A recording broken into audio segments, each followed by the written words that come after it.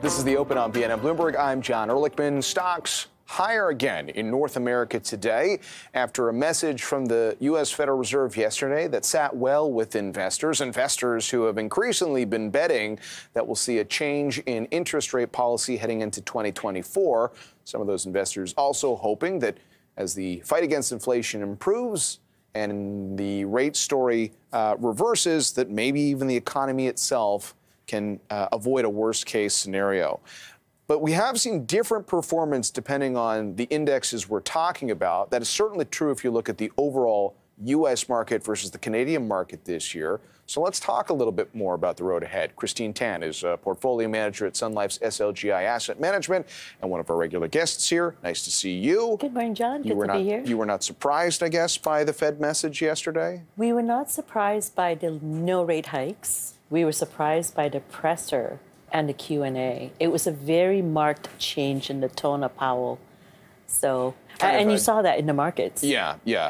Um, as we would say in the markets, dovish, Mm-hmm. feeding into something they had been very reluctant to commit to the idea of cutting interest rates. Exactly. Yeah. Exactly. And if you listen sort of like we do, because we love these things, like listening to the pressers. I know it's such a nerdy thing to say, right? We live on that. But yeah. exactly. Mm-hmm. But if you listen to exactly what he said, you know, so there were some interesting comments. One was he said, "Well, well into restricted territory." That was a comment he made at the beginning of his presser. Notable because of how much bond yields had rallied. The other, there was there was a question from one of the reporters on, do you need inflation to be well on its way to two or close to two before you start to cut? And he actually essentially said no, because rate cuts will act with a lag. And of course, the doves took and ran with it, as you said. You know, clearly the bond market is pricing in a lot more than what the dot plot has said. Well, I mean, we've done a lot of central bank talk this morning, so we won't go too deep into it. But I mean, even the former Bank of Canada Governor Stephen Poloz has said as much on uh, BNN Bloomberg this week. He was talking to Amber Kanwar, and he noted that, look, there is a lag with monetary policy, uh, and uh, if in Canada we haven't seen the full extent of rate hikes yet, Right. does the inflation have to get exactly to the nose back Correct. to a so-called 2% target? Actually, we had a good conversation earlier with uh, Royce Mendes of Desjardins, who noted because things are changing quickly in the bond market, that actually helps our mortgage market today. Even before the Bank of Canada changes policy. But I- guess I, am curious to get right into the investing story for Canada because um, people have been worried about the outlook. We keep talking about the mortgage market here. Yes. Uh, our benchmark, the TSX, is up. I mean, we're on pace for a gain right now. If uh, we were done the year, getting pretty close, about seven percent. But you're looking at uh, the S&P 500 that's uh, up about triple that so far Yes, this year. exactly. As a strategist, how do you think about that going into 2024? It's a good question because up until I would say very recently, uh, literally in the last couple of days, we had sort of had an overweight to U.S. equities on a relative basis. So neutral equities overall, but relatively overweight U.S. And it was because of the stronger fundamentals. Well, we've now neutralized that because of the rally, because of where valuations are. Uh, and if you look at what the TSX is, is sitting at, in terms of PE multiples, forward PE, which is a kind of simple way of looking at valuations, it's about one and a half PE turns below long term average. And the opposite is true for the US. So that's why we neutralize that sort of relative call for uh, TSX versus US. So um, we say it all the time, but you know, the like in Toronto, I mean, tech stocks are ripping higher this year. But it Mm. Yes. Mm. is uh, it is energy stocks, it is the banking sector, it is our broader materials complex, which includes gold names Mm-hmm. that do a lot of the heavy lifting for the TSX. They have a lot of muscle. So would you see those sectors as being in a position to be better performers next year, It's um, uh, comparatively speaking?